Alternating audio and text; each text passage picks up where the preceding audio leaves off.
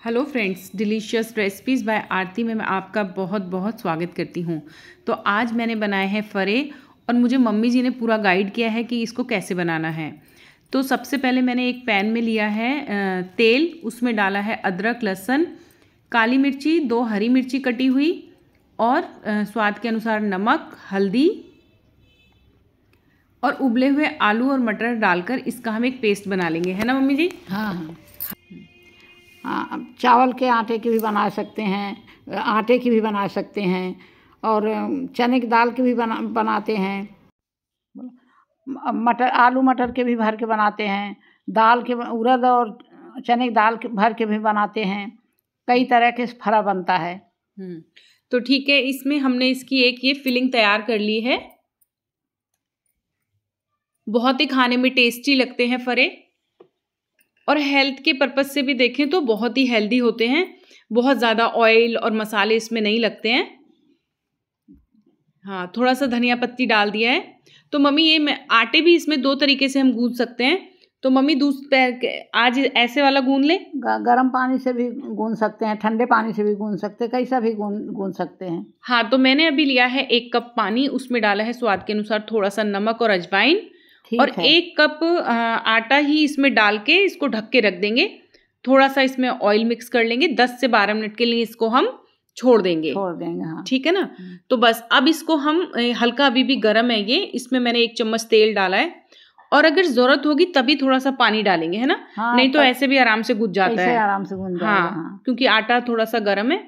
अभी तो ठीक है थोड़ा हाँ, गर्म है में गूंदने में ठीक रहेगा। हाँ तो बस इसको हम थोड़ा ज़रूरत होगी तो पानी में डालूँगी। इसका मैंने एक डो तैयार कर लिया है। सॉफ्ट सा डो बना है। थोड़ा सा ऑयल लगा लेंगे हाथ में। बहुत बढ़िया बनेगा बहुत बढ़िया। हाँ इसको अच्छे से मसल के गूंथ लिया है। बहुत टेस्टी होता है।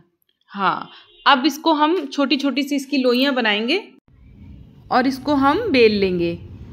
चाहे तो हम एक बड़ी रोटी बनाकर भी उसमें छोटी छोटी सी आ, किसी भी कुकी कटर से काट के सब बराबर शेप की आ जाएँगी है ना? आज किसी भी कटोरी से देख लो हाँ। छोटी हो बड़ी हो हाँ। उसे हाथ से भी बना सकते हैं कटोरी से थोड़ा गोल आ जाता है अच्छा बनता है हाँ तो बस ये मैंने एक कटोरी ले ली है और उसी की शेप से मैंने मैं सारी मतलब कि इसकी एक तरीके से एक छोटी सी पूड़ी बनी है तो उसी तरीके से मैं सारी पूड़ियाँ बना के रख लूँगी आटे की और ये फिलिंग को देखो मैंने पहले ही रोल करके रख लिया है बस इसको भरेंगे और हल्का सा प्रेस करेंगे बहुत अच्छा बनता है बहुत टेस्टी है हेल्दी है। एक बार इस रेसिपी को आप ज़रूर ट्राई करें तो बहुत ही आपको पसंद भी आएगी। और कई तरीके से बनते हैं आटे के भी चावल के आटे के भी हाँ, बनते हैं।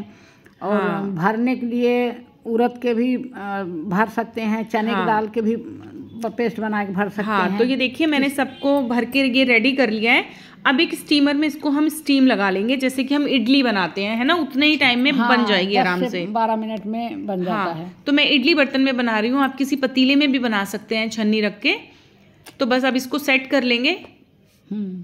बहुत ज़्यादा इसमें ऑयल नहीं लगता वैसे तो इसको मम्मी बनाने के बाद जैसे हम इडली को फ्राई करते हैं वैसे ये भी फ्राई होते हाँ, हैं फ्राई कर सकते हैं। हाँ लेकिन आज मैं प्लेन बनाऊँगी। ये तो स्टीम किया हुआ है बहुत हाँ, अच्छा है। हाँ, हेल्थ के लिए भी तो अच्छा बस ये मैंने इसको 12 मिनट के लिए स्टीम किया है और ये देखिए कितने एकदम परफेक्ट बने हैं। बहुत ही अच्छे बने हैं। एक बार आप इस रेसिपी को ज़रूर ट्राई करें। बहुत पुरानी रेसिपी है हम सभी जानते हैं और बहुत ही हेल्दी है। तो अगर आपको ये पसंद आती है तो मेरे चैनल को सब्सक्राइब करें वीडियो को लाइक एंड शेयर ज़रूर करें। Thank you friends